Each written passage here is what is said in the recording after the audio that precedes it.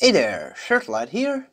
I thought you could use some decent tunes when playing SD Gundam G Generation Overworld, since some of the character music can be a bit lackluster when compared to the later entries. Well yes, you can always play your usual music mix in the background, so this is more for people who want the music to dynamically switch as you play out your turns with the various characters, exactly in the same way as the game's background music tracks usually do. With the introduction out of the way, let's get straight to the nitty-gritty of it.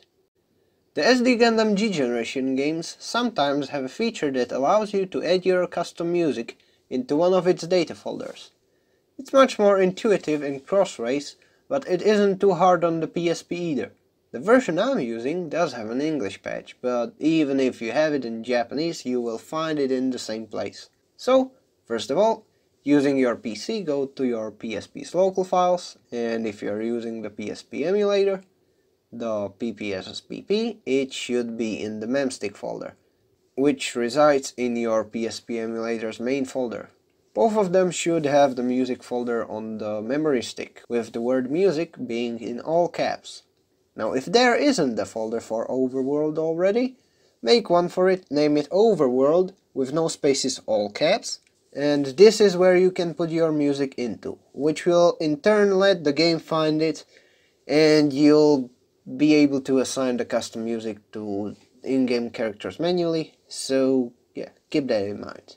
Most mp3 files will do. Just keep in mind that the music starts whenever the character with the custom music initiates their first attack that turns. So if you want the specific segment to play at a specific time you will have to do some trimming and testing. And don't worry if it's too short, the music will loop indefinitely until you switch it by using another character. Once you have that done, the fun part can begin. So, with your copy of G Generation Overworld started up, go to the main menu and load a save file, if you have one that is. Uh, if you don't, then just start a new game, finish the starting stage and you will more or less appear in the same menu as the people with the loaded save file. Now, you should find the gallery or the Gerari uh, written entirely in Japanese katakana if you don't have the patch. Then once you open it, the sub menu has various options with one of them being custom BGM or custom BGM respectively. This is where you can find the various characters whose music can be changed to the custom one. So just open up a series and tap circle.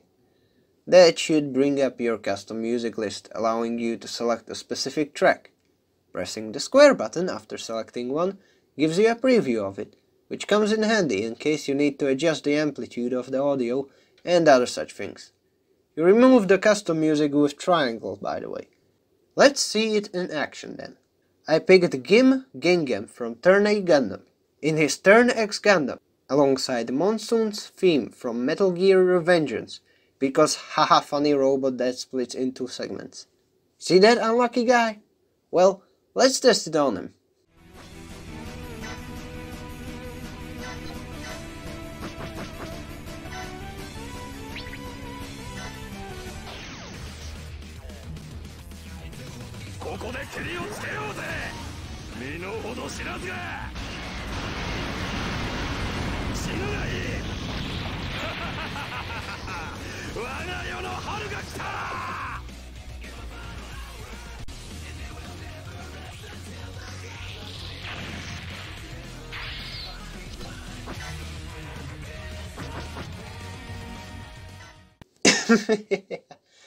Anyways, you'll probably have a lot of fun with this feature.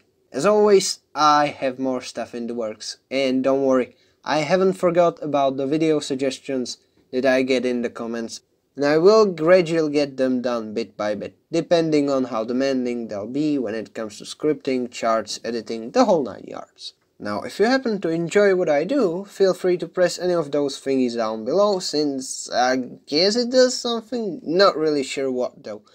With that said, have a good one, and Shirtlad signing out.